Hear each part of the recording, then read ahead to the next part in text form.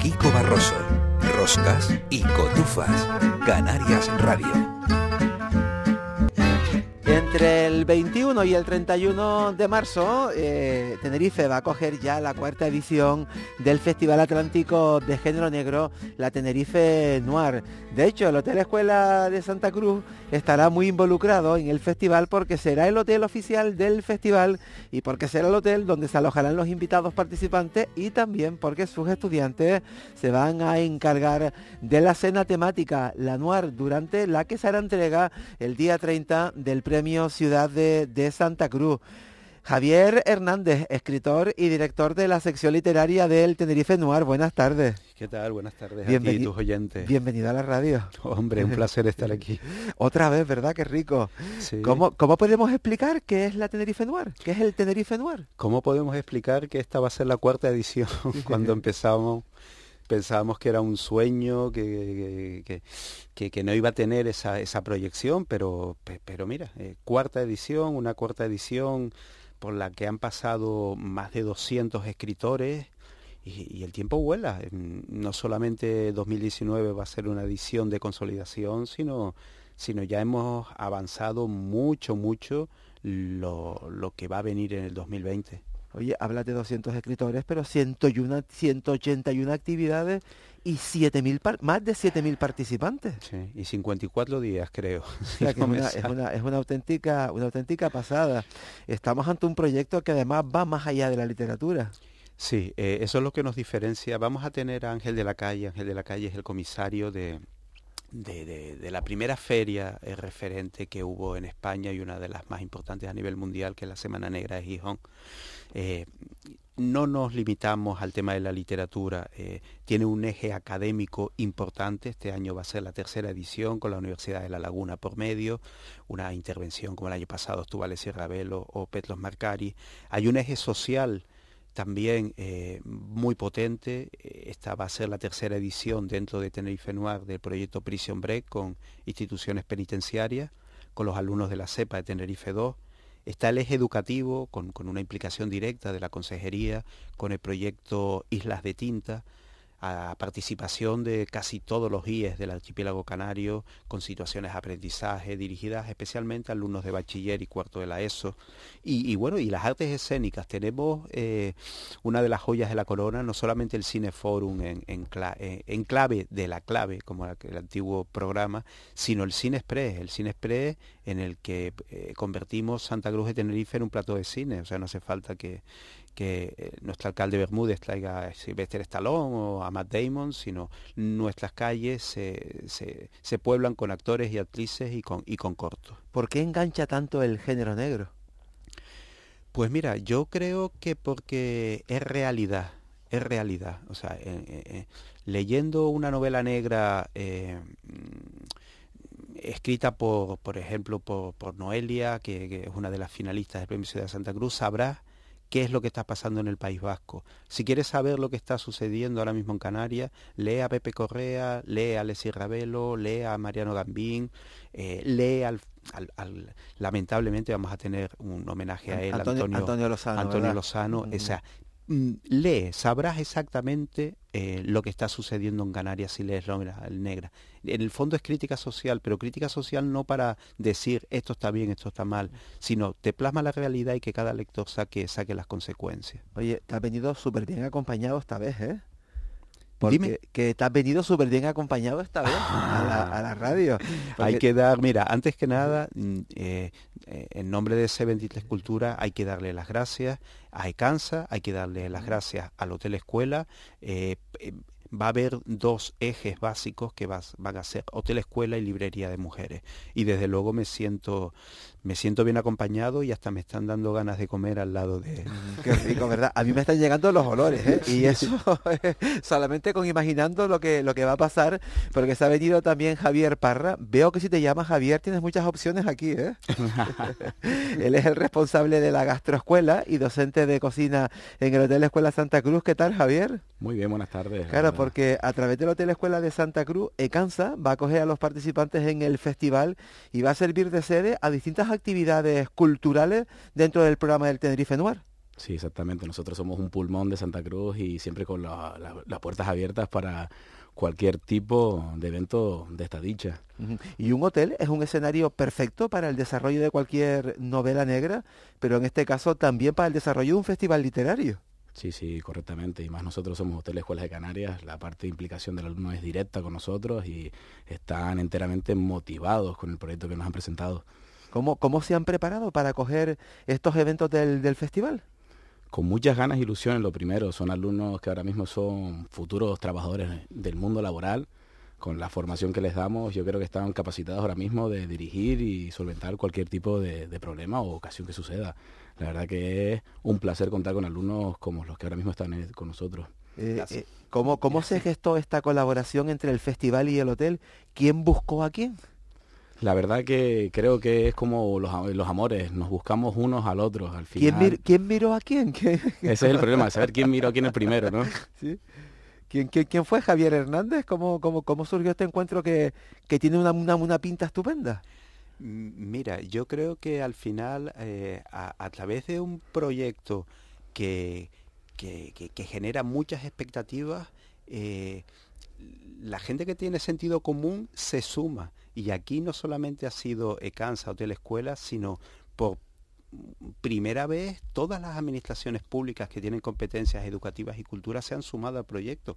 Le hace comunidad autónoma, le hace cabildo, le hace, le, hace ayuntamiento, con lo cual, ¿quién se sumó al carro primero? Yo creo que lo importante es que estamos todos en el carro. Eso es la clave, ¿no? ¿Qué actividades del festival van a tener lugar en el Hotel Escuela? Básicamente todo el tema literario, todo encuentro con autores y sobre todo una de las joyas de la corona que es la comida del día, del día la comida, la cena del día 30. Sobre todo porque antes eh, se va a hacer público a nivel nacional el ganador del premio Nobel Pol a nivel nacional. O sea que, que Nobel Pol, esta asociación, eh, decida fallar el premio en Tenerife Noir, eh, nos pone en un escenario que nunca lo habíamos pensado y al final de la cena se fallará el premio Ciudad de Santa Cruz. Es el único premio a nivel nacional que tiene una dotación económica. Está muy bien, como, como digo yo, a los autores que les reconozcan que han escrito una gran novela, pero muchos viven de esto y no está mal que se les premie también económicamente. Eh, se han venido también tres alumnos, Eduardo Jesús González. González, ¿cómo estás Eduardo? Buenas tardes. Y mm. yo, bueno, tres no son dos, ¿verdad? Para ser exacto. Y Jonathan Cristian Reverón Fernández. ¿Cómo está Jonathan? Eh, Johan, bien. Johan, Johan, Johan. Lo tenía bien escrito, lo he leído yo mal, ¿eh? Johan Cristian Reverón Fernández. ¿Están nerviosos por ser los responsables de la cena de entrega del premio Ciudad de Santa Cruz? Un, un poquito, ¿verdad? Un poquito. ¿Qué, qué, qué, qué van a preparar? ¿Cuál, ¿Cuál va a ser el menú de esa cena? Pues es un menú con distintas recetas de distintas zonas del país y que contarte en verdad porque estamos súper ilusionados con esto. Nos hemos metido a fondo a hacerlo y con ganas de empezar a hacerlo. Eh, imagino que será una cena temática, ¿no? No sé si nos pueden dar alguna pista. ¿Eh? Que, que me imagino que será una cena temática. ¿Hay alguna pista que nos puedan dar? sobre el menú en el que están trabajando? Sí, claro. La procedencia, por ejemplo, de, de las elaboraciones pues es bastante variada. Tenemos elaboraciones mexicanas, tenemos elaboraciones italianas, eh, elaboraciones estadounidenses, de Marruecos, mm, bueno, bastante variedad por así decirlo. No sé, pero me da a mí que el, que el menú no huele a ingredientes de color oscuro, con esto de, lo, de, de, los crímenes que son tan habituales en el género negro, ¿no? Seguro que algo rojo cae. ¿Vajilla blanca o vajilla negra? Vajilla blanca, vajilla blanca. ¿Y ropa de mesa de qué color? no sabemos todavía porque en la parte de cocina... ¿Negra, negra quizás? Puede ser, puede, ser. Puede ser, negra. Y sobre blanco queda, queda, queda, queda estupendo, ¿no? Claro, resalta. Sí, sí. Oye, ¿y qué se beberá en esta cena? ¿El género negro lo asociamos con, con licor? ¿Habrá humo? ¿Se podrá fumar en ese lugar? Parece que está prohibido, ¿no? Pues sí, de, momento sí, por sanidad, por lo menos lo de fumar está prohibido. Oye, ¿y habrá habrá banda sonora durante durante la cena? ¿Música de fondo quizás? Podría ser. Xavi, mm. ¿qué dice? Es la parte de ellos de la, parte de cocina y ya lo están ya muy nerviosos los chicos.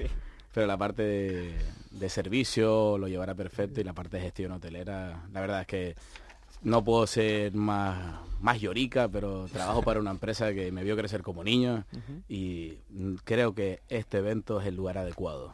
La cocina también es como muy de es como muy de cine negro, ¿no? Es como muy del género, ¿no? Porque fíjate si da para sí la cocina, ¿no? Para para ahí, para un crimen, ¿no? Para un algo, ¿no? Exactamente, como dice la frase, un cocinero sabe mucho con los cuchillos, así que pues, es perfecto para lo que estamos hablando. Oye, ingredientes negros que, que hay, chocolate, mejillones.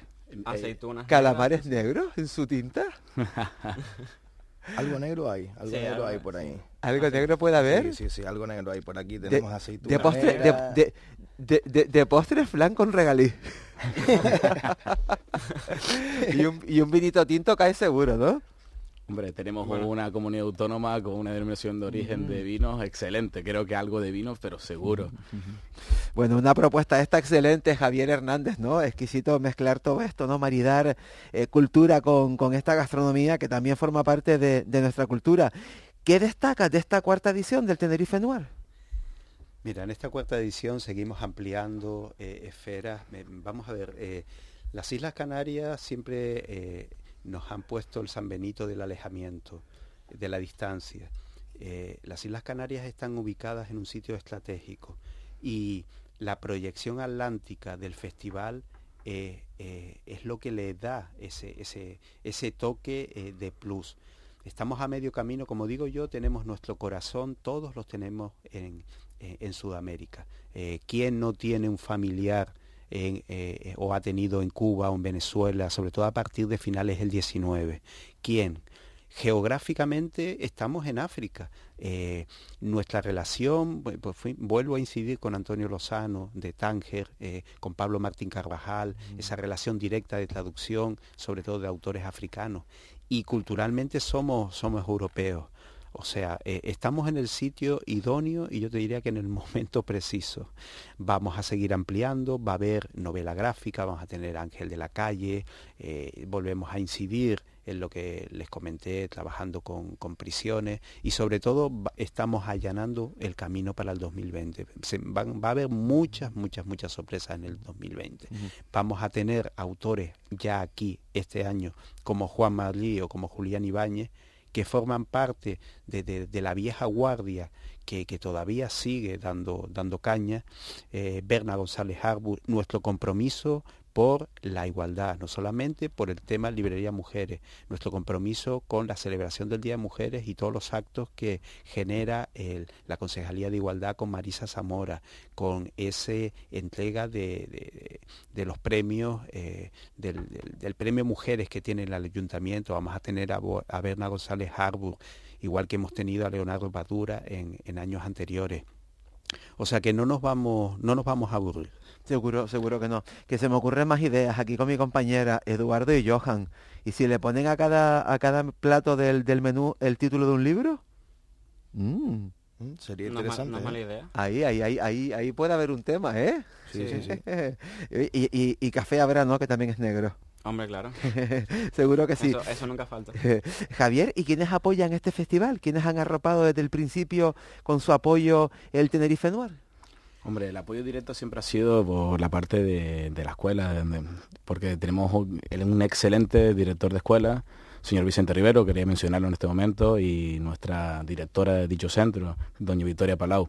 Son personas que cualquier propuesta no, no se niegan, sino vamos, vamos a darle una vueltita más a esa tuerca, venga, les apoyamos. Sinceramente, es un grato placer tener a personas con ese contacto diario tanto con el personal que trabajamos en dicha empresa como con los alumnos. Los alumnos yo creo que, como yo también fui alumno, hace años que yo he dejado de trabajar. Trabajas en, una profesión, si es tu paraíso, no trabajas y ellos te lo facilitan.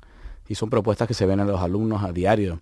Este tipo de cosas les viene para ellos fundamentales en su aprendizaje, en su formación y lo más importante a nivel humano, te acercas directamente al cliente. Dicen, ahora mismo estamos hablando que somos artistas el artista también es un cocinero, un cocinero sin una receta, sin una escritura, sin una letra, no hace un plato. Un plato ya son sentimientos, ya no es comida, sino sentimientos. Sin duda, sin duda que sí. Eh, eh, para participar de él, información práctica del, del, Tenerife Noir entre el 21 y el 31 de marzo en esta cuarta edición. ¿Cuál es la sede del festival? Nuestra sede del festival, Hoteles Escuela de Canarias. Sí, está, hay, dos polos. Eh, la mayor parte de las actividades eh, con independencia, el eje social será en Tenerife 2, el eje académico estará en la universidad, en el Paraninfo, pero eh, el resto, la mayor parte de, de, de, las acciones van a estar desarrolladas entre la librería Mujeres y, y, el hotel y el hotel escuela. La participación a través del Cineforum y del el Cine Express con el Tenerife Espacio de las Artes digamos que esos son, van a ser los, los, los hitos en los cuales se va a desarrollar el, el festival. Y si quisiéramos participar de él, eh, hay que sacar entradas, hay que hacer una inscripción, basta con ir. Nos critican mucho desde la península eh, en el sentido de eh, festivales como, como Pamplona Negra, como Getafe, siempre las entradas son pagando. Aquí es totalmente gratuito. Lo único que hay que hacer es hacerse con el programa, está en la página eh, web de Tenerife Noir, en redes sociales, tanto en el Twitter como en la página Facebook, y ya uno se hace la agenda, lo que le interesa, si ver eh, clásicos en el Cineforum en el TEA, si acudir al Cine Express, si acudir al Hotel Escuela para conocer a los autores y, y salir con una firma, si quieren acudir al Paraninfo para ver todas las ponencias que se van a desarrollar dentro del eje académico, lo que no los van a dejar es en la, entrar es en la cárcel. es algo que se puede más. De momento, ¿verdad? que esa es otra, ¿eh? que podemos innovar y ver también qué perspectivas hay para disfrutar de, de, una lectura, por ejemplo, te imaginas, ¿verdad? Dentro de prisión, una lectura compartida, pues no estaría mal, todo se andará, ¿eh? Porque si Javier Hernández se lo propone, seguro que iremos allí hasta la Tenerife 1 o Tenerife 2 a disfrutar de, de lectura compartida. Javier Hernández, escritor y director de la sesión literaria del Tenerife Noir, camino ya este próximo 21 de esa cuarta edición que seguro volverá a ser un éxito rotundo como lo han sido las tres anteriores. Que vaya todo bien, ¿eh? Muchas gracias. Javier Parra, Eduardo y Johan, que disfruten de ese menú suculento, ¿eh? gracias. Muchas gracias. Un abrazo muy grande. Ahí, ¿eh?